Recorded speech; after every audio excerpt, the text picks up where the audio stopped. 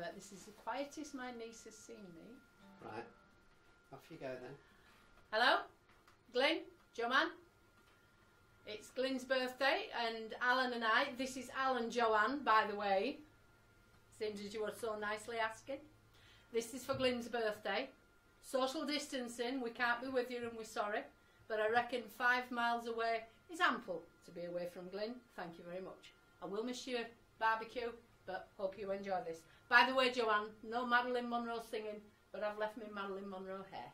Hope you enjoy it.